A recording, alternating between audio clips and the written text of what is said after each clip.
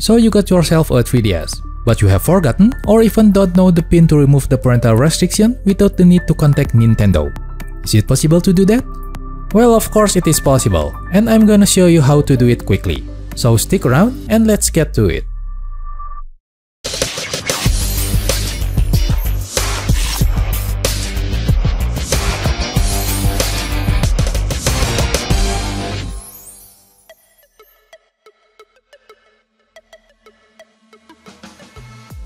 You need a 2DS or a 3DS from any variants to follow this guide.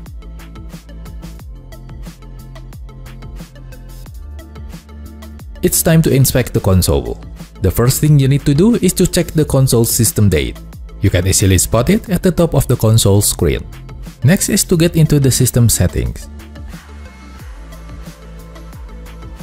Select parental controls. Then choose forgot pin.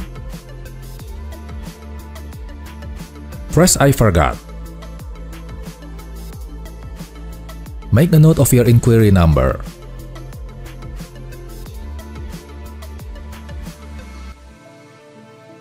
Get into the MQ website, then match the system date with your console's date, and type in the inquiry number.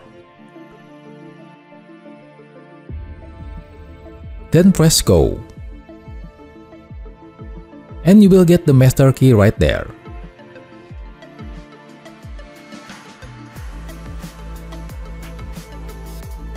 Get back to your console. Now press OK. And type in the given master key that you got from the MQ website. If everything is okay, then you will see that the master key is confirmed. You will need to enter a new pin, so type in any number you like.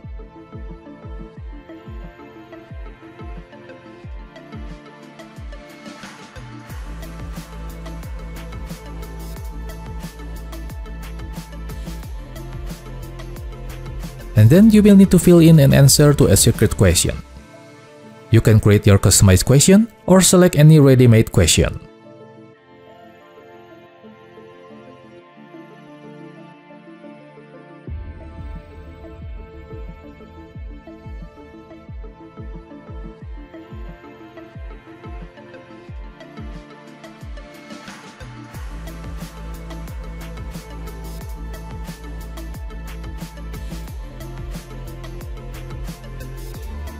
At this screen, you can clear the settings to remove the pin completely.